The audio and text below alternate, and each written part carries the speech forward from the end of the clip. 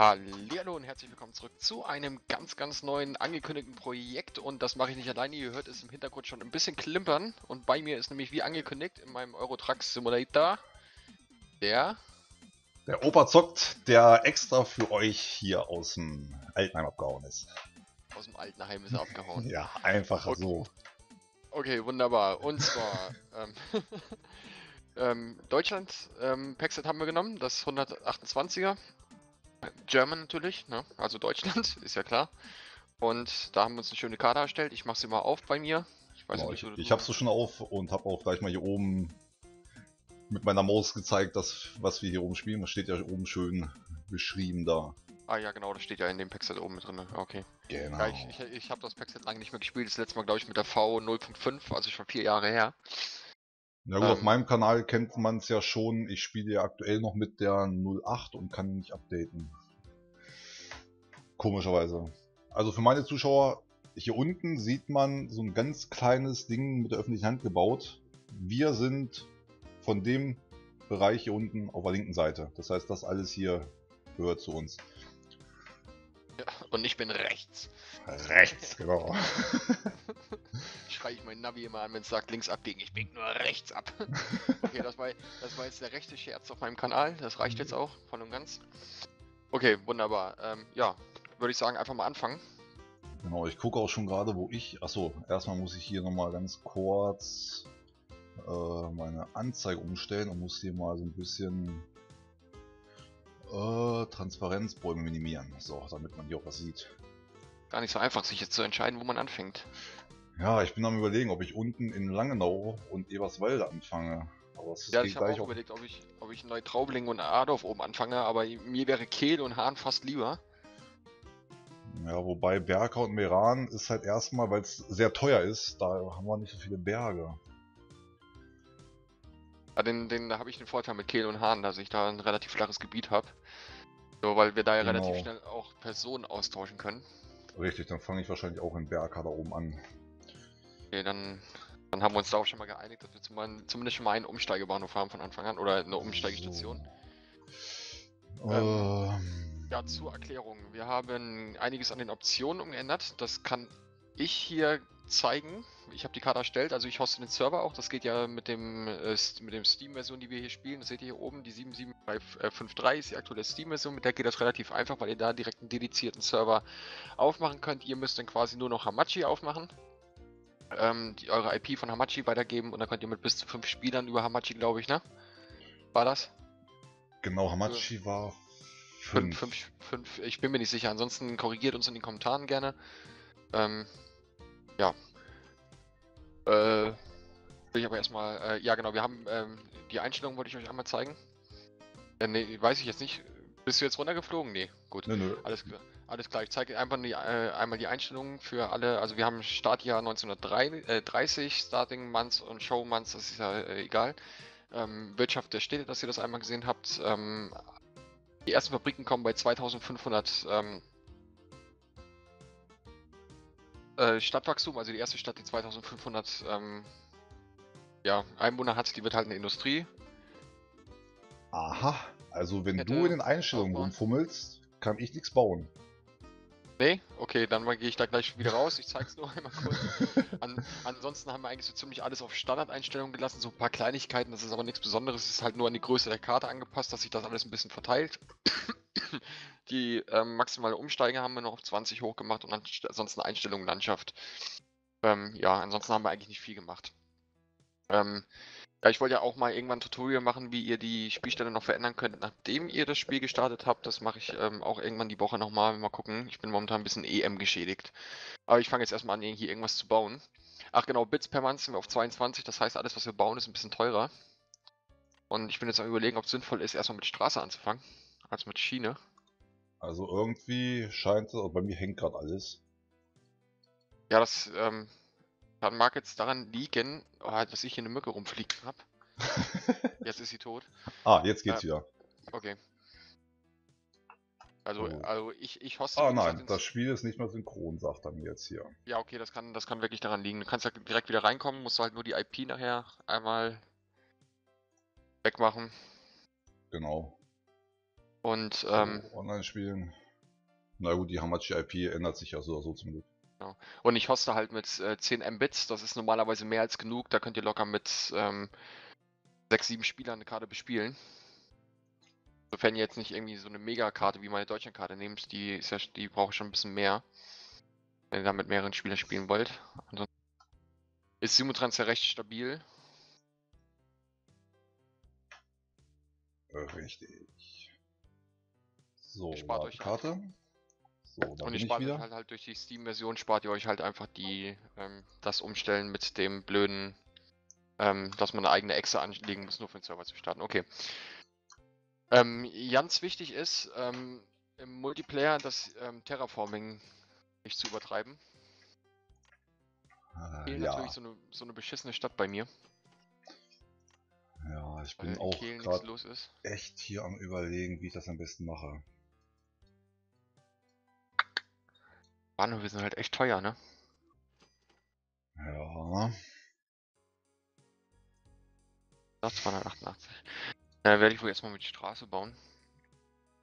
Weil ich orientiere mich jetzt erstmal, machen wir es mal ganz anders. Ja, Hahn. Hm. Hm. dahin und einmal so. Wenn ich jetzt hier runterkomme. Glück ist ja immer noch da, Mann.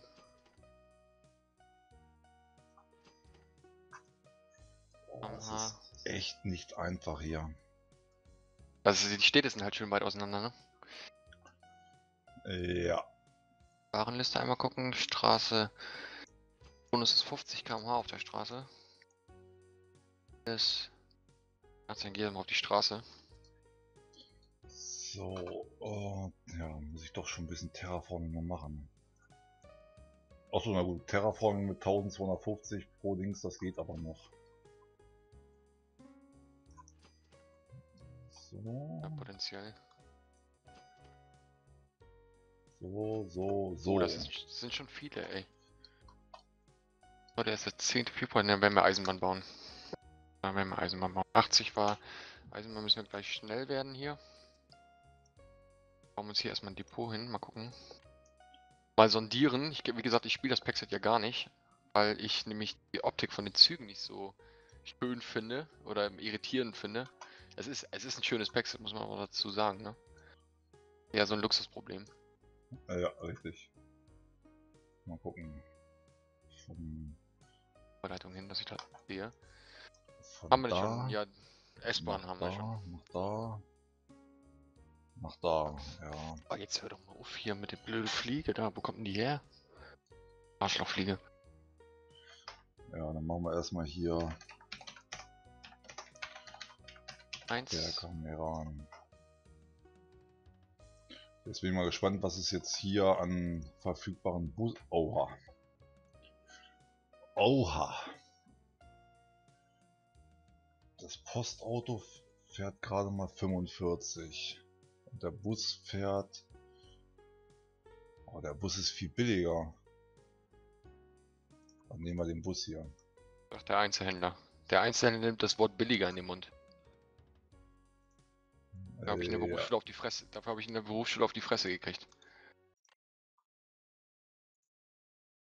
Da bin ich jetzt mal gespannt. Machen wir Post gleich mit, dann können wir das Wachstum schön hochtreiben. Ja, ich überlege auch gerade. Ja, oh, nein, kein neuen Fahrplan. Halt in Länge 4, das passt perfekt. Na komm schon. Berger starten. Muss das Postauto hinterherfahren. Aber ich glaube, in dem Packset überholen die Fahrzeuge sogar auch. Ja, Das machen die in jedem Packset. Es müssen halt nur ähm, 20 gerade Felder da sein, damit die überholen. Und es darf kein Auto entgegenkommen und ähm, ja, es gibt ganz viele Faktoren, die das ausmachen.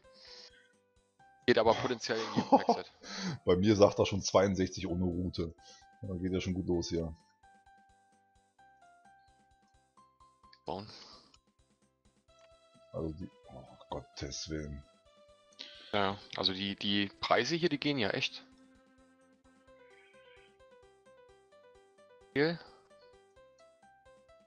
Jetzt muss ich nur halt aufpassen. Ich mache mir mal hier am besten gleich mal meine Firmenfinanzen auf. Dass ich nicht gleich völlig in die roten Zahlen rutsche. Beikommen. Und den Bus hier nochmal und das Postauto am besten nochmal. Aber ich glaube, ich habe eine Linie Okay. zu viel erstellt. Genau, Linie löschen. Kann weg. So, jetzt werden wir den Bahnhöfen ein bisschen gucken. Weil die sind echt teuer, die hauen rein.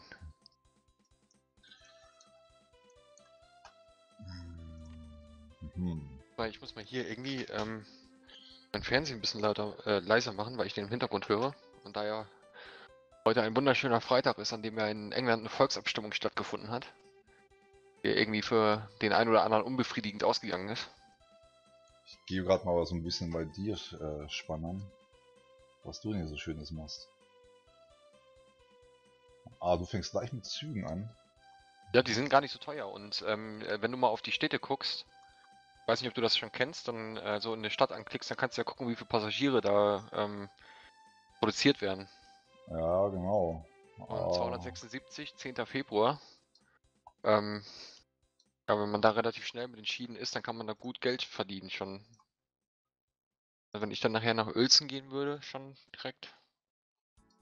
Weißt du, wenn wir von Mirane Kehl schon irgendwas machen, dann muss ich mal gucken, wie ich das, wie ich das handhabe. Also ich lasse die Züge. Jetzt habe ich das Spiel ausgemacht. Gut. Dann warte ich mal kurz auf meinem Dashboard. Habt ihr mal gesehen, was bei mir Lage ist? Eurozeichen mache ich natürlich weg. Ähm, wollte die Karte hier einfach zumachen. So rum, genau. Ui, ui, ui. Ja, ist schön teuer, ne? Ja. Und die Leute wollen nicht sagen, wo ich sie hinhaben will.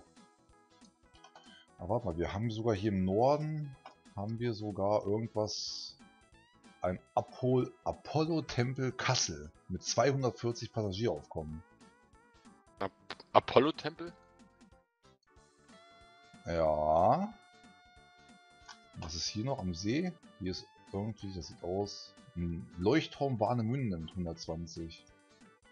Ich sollte mir vielleicht hier mal auch mal die, nicht die Reiseziele, Wo- Attraktion. Ach hier, da, ah, Es gibt Attraktionen, ja, die angestellt. Ach ja, 10 Stück hatten wir angestellt, ja, hast du recht. genau, du hast um Öls drum sehr, glaube ich, fünf Stück, aber kleinere. Ich habe da ganz oben links in der Ecke so ein Riesending, also ein sehr, oh, was ist das denn? Ein Schloss Arolsen mit 600er Passagieraufkommen.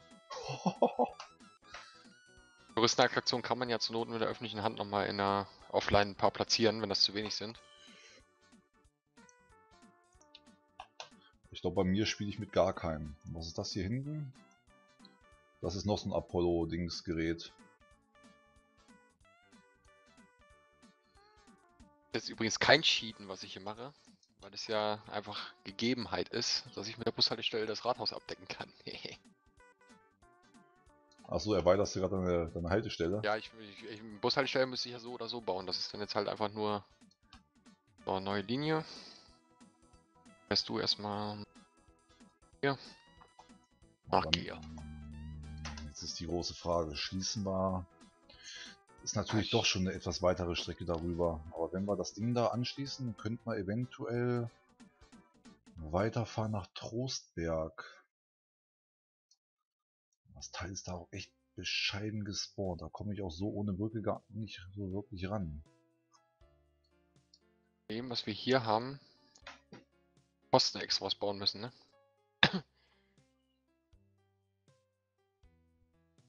Okay, also meine ersten Linien sind grün. Das heißt, also Post verschicken sie schon. Ja, ja, ähm, Post würde bei mir theoretisch auch laufen. Ding ist halt einfach nur, dass es hier in dem Packset ja keine gemischten Stationen gibt quasi. Doch hier, denn das Rostocker Tor, was gemischt ist. Ja, genau, die, die, das sind auch die, die ich halt nutze. Ja, die sind ja teuer. Die, die kosten einfach mal doppelt. Warte, 288, was kostet das? 1044. ja, da bist du günstiger dran, wenn du eine Post, einen Briefkasten und eine Bushaltestelle aufstellst. Ja, ja, ja. Ja, aber unter, un, unterschätzt es nicht. Das sind fast 800 Flocken, die du da sparst. 1076. 176. Ja, 600 Flocken sind es ungefähr, die du sparst. Aber bei mir geht Post jetzt auch schon los. Ja, Post ist das Einzige, was bei mir losgeht im Moment. Ja, bei mir ist beides. So, wie kommen wir jetzt da rüber? Dann baue ich hier, die- 750. bauen wir lieber hier so rüber. Oh, es ist... Es ist verdammt schwer, muss ich dir ganz ehrlich sagen. Ich will auch nicht zu viel jetzt bauen. Ich werde relativ schnell ins Auszocken hier, ne? Richtig, und das muss nicht unbedingt sein. So, neue Linie. Oh, Von dort nach dort. Das ist Berker. Berker Leuchtturm. Ich hoffe mal, dass ich mit dem Leuchtturm da eventuell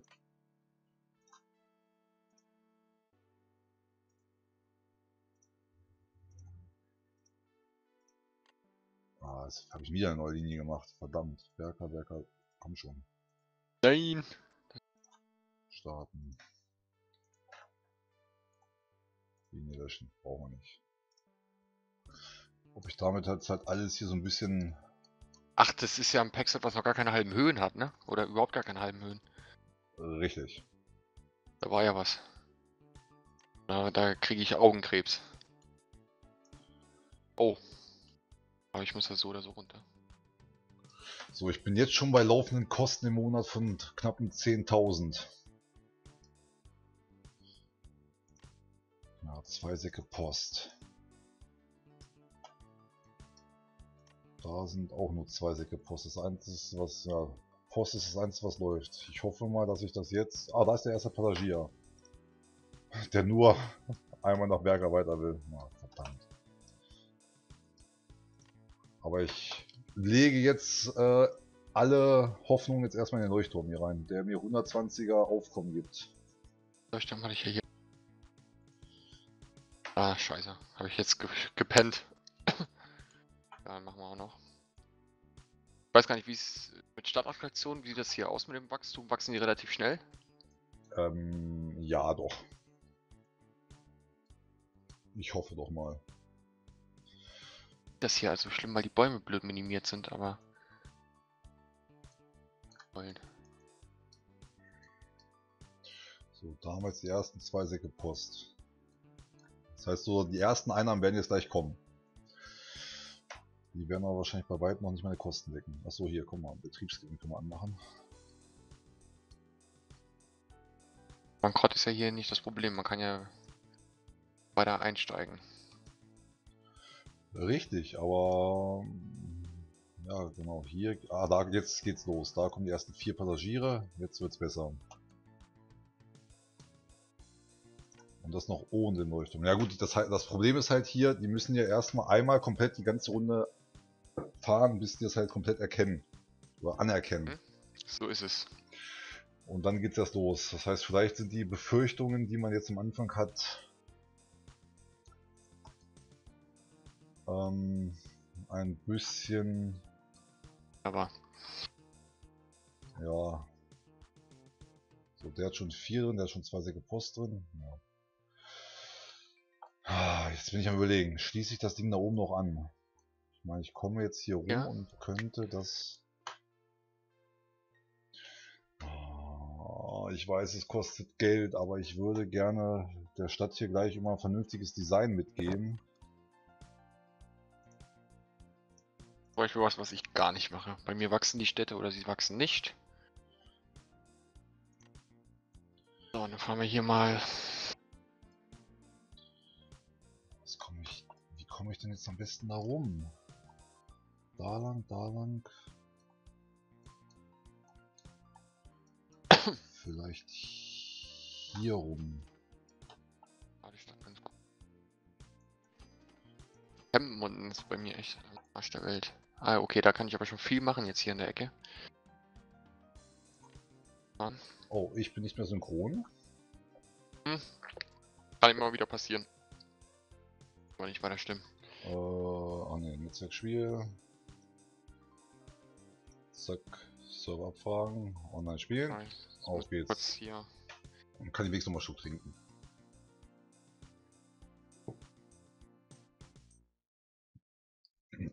Aber ich muss dir ganz ehrlich sagen, ey, ich freue mich wie ein frisch paniertes Schnitzel, das gerade in die Pfanne hüpft auf dieses Projekt. So viel Spaß wie ein Tornado auf dem Campingplatz, ne? Genau.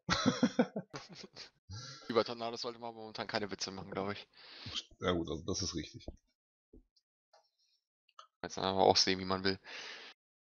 So, da ist er wieder. Und jetzt wird wahrscheinlich gleich hier, wenn ich anfangen will zu bauen, wird er meckern, äh, gib dein Passwort ein, du Arsch, du. Ah ja, genau.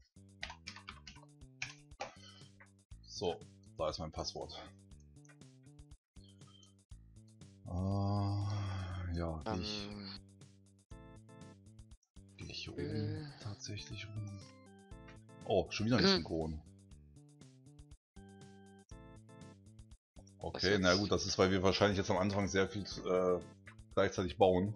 ja, das mag daran liegen, ja. Gut, die Serveradresse können Sie ruhig sehen. Ist ja so nur die Hamachi-Adresse.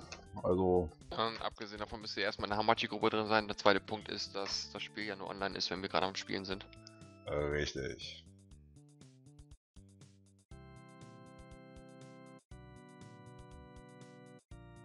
So. Dann übertrag mal schnell hier. Eine Kneipe ist überflutet irgendwo. Ganz böse. Böses Wetter. Einfach eine Kneipe überfluten.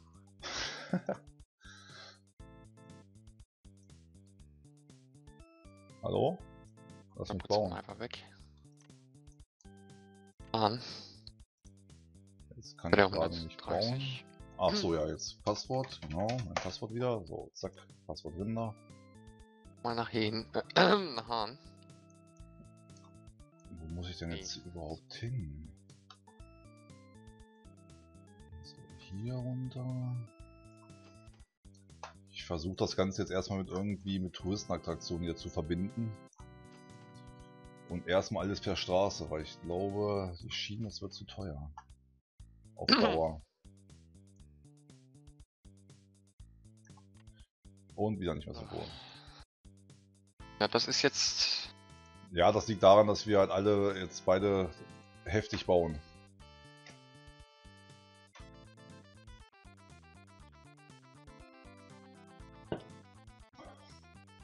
Weil du ja wahrscheinlich gerade auch sehr viele ähm, Straßen gerade am Bauen bist oder Schienen, schätze ich mal.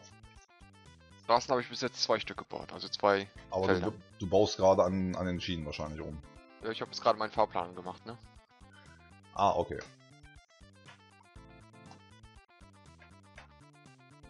Das ist halt auch noch so ein kleiner Bug im äh, Multiplayer. Wenn du in der Fahrplanübersicht rumdokterst und ich auch umdokter, dann äh, sieht übel aus. Achso, Passwort. 432. Achso, man sollte das Passwort nicht hier erzählen. ah, Mist, das wieder. Besser spät als nie gemerkt.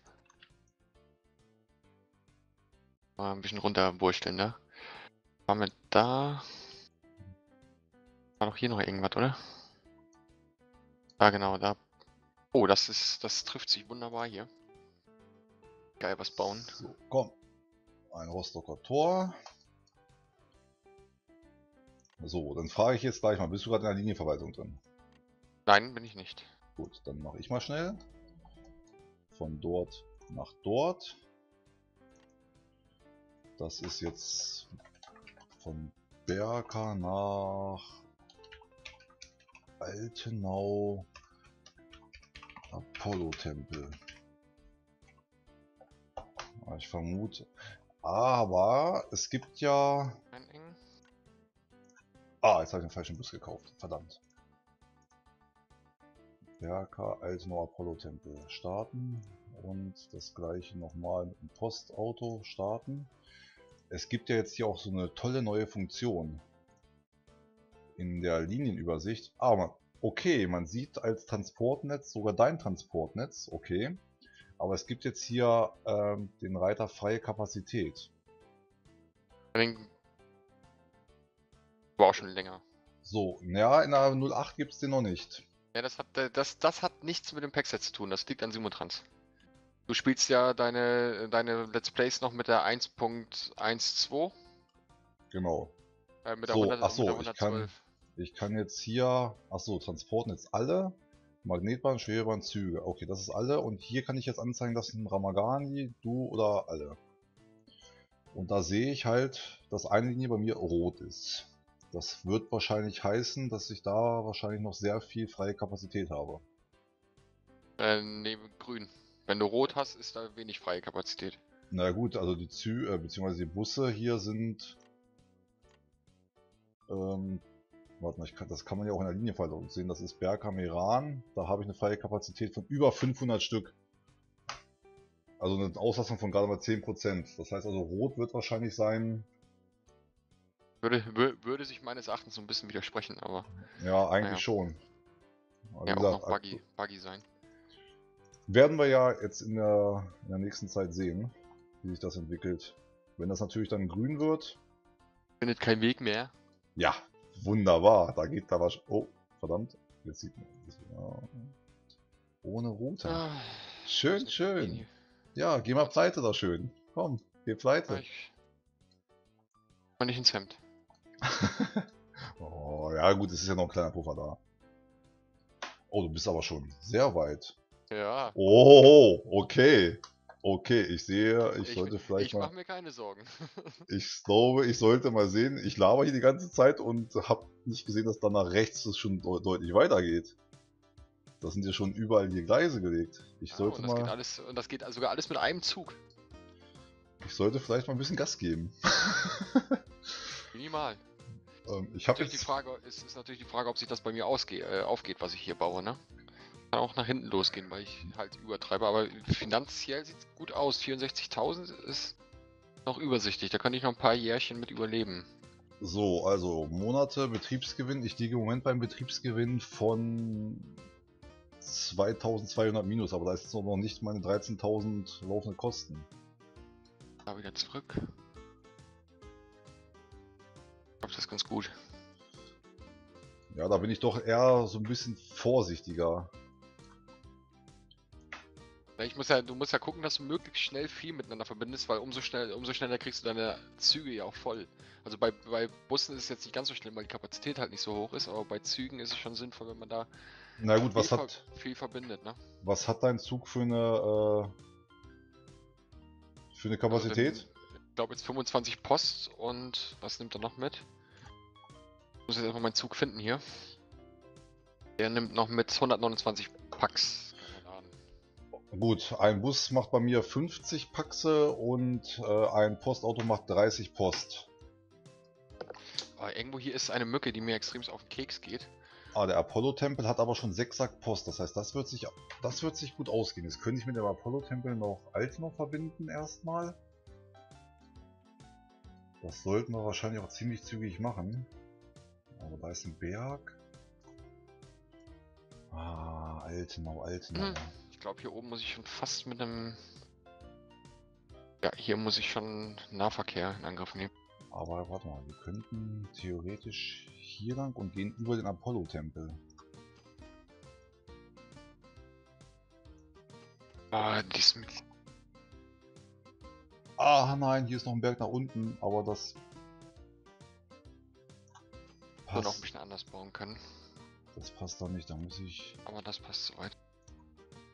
Vorsichtig mal einmal links machen. Ähm, muss ich wohl jetzt tatsächlich hier mein erstes Straßenfahrzeug losschicken? Ja, aber wenn ich so mal auf die Uhr gucke, wir sind schon bei mittlerweile 30 Minuten. Ja, ich hab. Ja, kommt gut hin. Ich habe ein bisschen später meine Uhr gestartet. Das kennt man ja bei mir, dass ich meine Uhr ständig vergesse. Würde ich sagen, sehen wir uns in der nächsten Folge. Genau. Ja. Dann schließen wir das in der nächsten Folge Kommt an. nämlich jetzt direkt im Anschluss, nehmen wir die nämlich schon mal auf. Ihr seht die aber erst am Dienstag um 14 Uhr, war richtig? Genau, die Folge müsst ihr jetzt genau am Samstag. Genau, Die ist die, für, die ist für Samstag vor dem morgen. Deutschlandspiel, genau. Samstag 14 Uhr. Stimmt, die Folge kommt eher raus als mein Infovideo. okay, wunderbar. Sehen wir uns in der nächsten Folge. Bis dahin gibt es von mir wie immer eingepflegtes Reingehauen, auf Wiederschauen und bis zum nächsten Mal. Und Opa darf sich natürlich auch noch verabschieden. Genau. Ich sage Tschüssikowski. Bis zum nächsten Mal. Ciao, ciao. Ciao.